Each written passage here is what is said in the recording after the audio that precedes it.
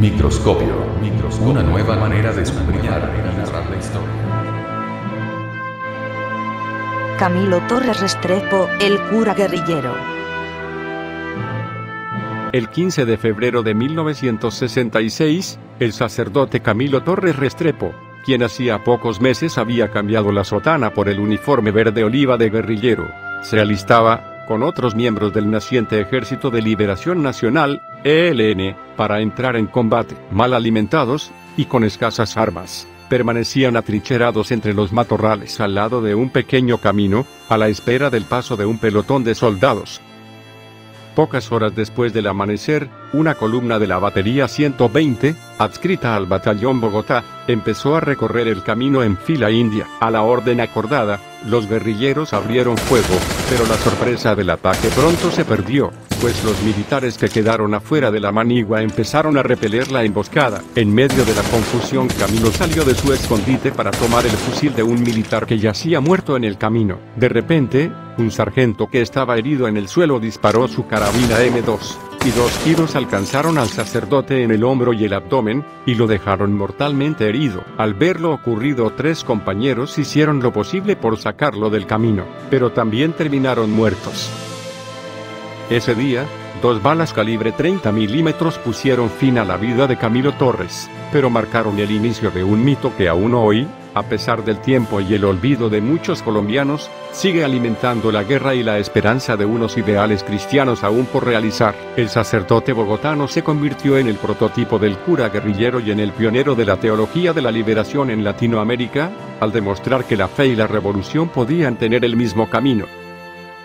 Camilo Torres Restrepo nació en el seno de una acomodada familia bogotana. El 3 de febrero de 1929, su padre era el reconocido médico pediatra Calixto Torres Umaña, y su madre, Isabel Restrepo Gaviria, quien ya tenía dos hijos de su primer matrimonio con Carlos Westendorp, a los dos años fue llevado por su familia a vivir, entre 1931 y 1934, en Bélgica y Barcelona. Al regresar a Bogotá, a los ocho años, entró a estudiar la primaria en el colegio alemán pero como fue cerrado a raíz de la Segunda Guerra Mundial, hizo el bachillerato en el Liceo de Cervantes, donde se graduó en 1946. Allí escribía y publicaba El Puma, un periódico que criticaba a los profesores, en los que mostraba su rebeldía y cuyo lema decía, diario semanal, aparece cada mes, Comenzó a estudiar Derecho en 1947 en la Universidad Nacional de Colombia, pero después de un viaje a los llanos encontró respuestas al vacío que sentía en su interior. Tras un profundo análisis,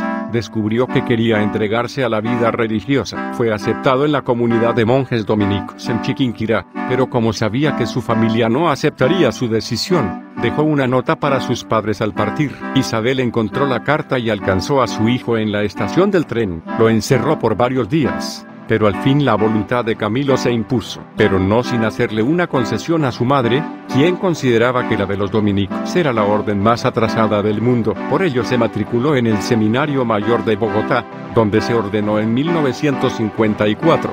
Antes de tiempo, Gracias a su excelente desempeño académico, tanto fue su éxito, que fue enviado a Bélgica a estudiar sociología en la Universidad de Lovaina.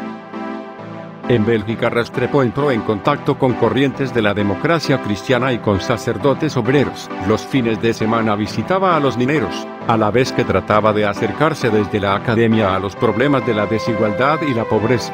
De hecho, su tesis de grado de 1958 aborda desde la estadística la realidad socioeconómica de la capital colombiana. El texto sería publicado en 1987 bajo el título La proletarización de Bogotá. Según las memorias de Isabel Restrepo, Camilo Torres vivió un año en un pequeño pueblo de Bélgica, después estuvo en París, donde trabajó con el abate Pierre recogiendo basuras con indumentaria de obrero.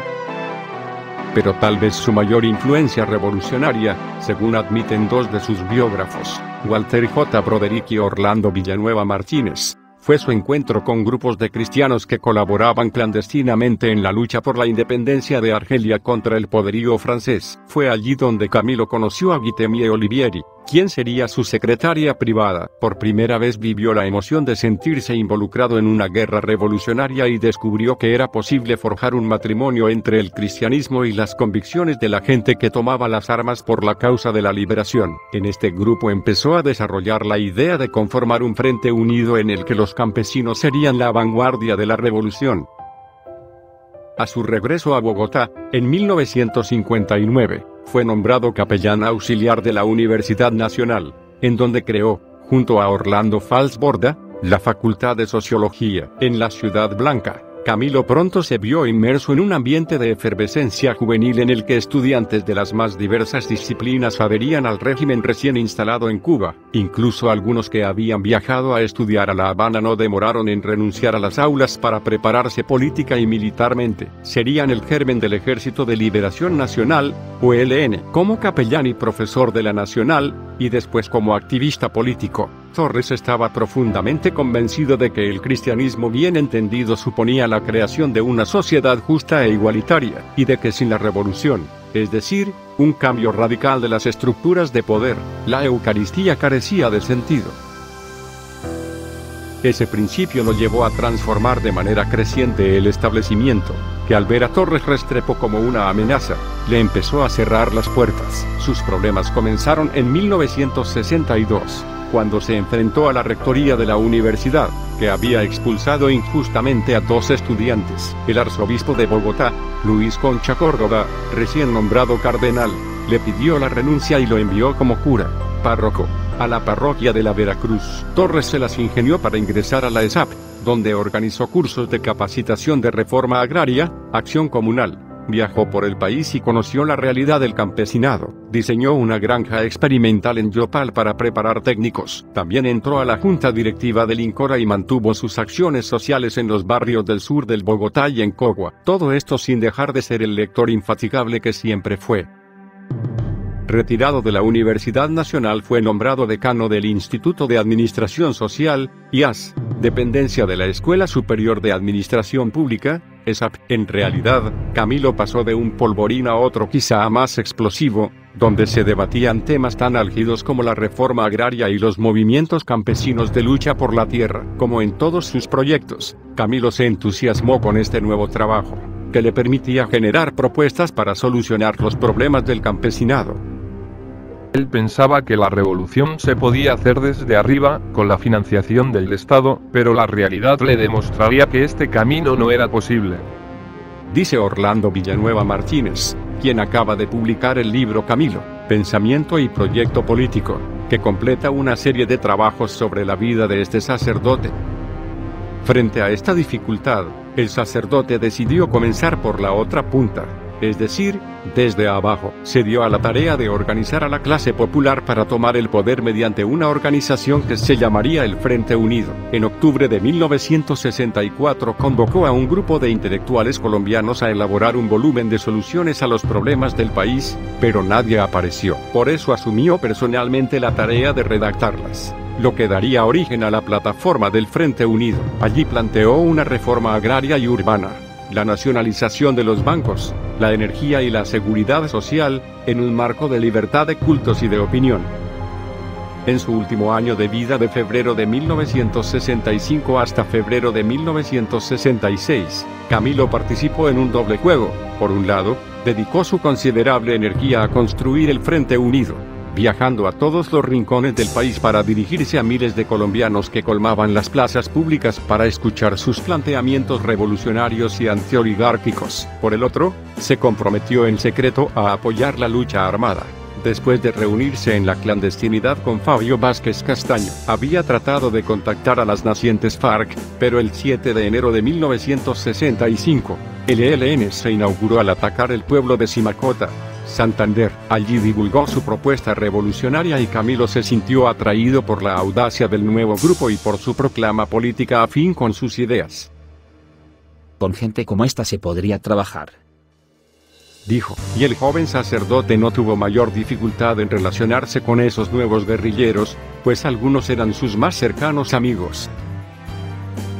Camilo endureció su discurso y decidió irse el 18 de octubre de 1965 al monte. Temía que su vida corriera peligro en la ciudad, según recuerda su amigo Monseñor Germán Guzmán autor de la biografía El Padre Camilo. Su ausencia deterioró rápidamente el Frente Unido. A comienzos de 1966, Camilo difundió desde las montañas de Colombia su proclama al pueblo colombiano, en la que anunciaba su presencia en las filas guerrilleras y convocaba a los colombianos a empuñar las armas en una guerra total contra el poder establecido. Aparecieron fotos suyas con un fusil al hombro prestado para la ocasión. Pidió ser tratado como cualquier otro guerrillero y se propuso conseguir uno, el mismo que trató de tomar en la emboscada del 15 de febrero de 1966 en la zona rural de San Vicente de Chucurí, en Patio Cemento.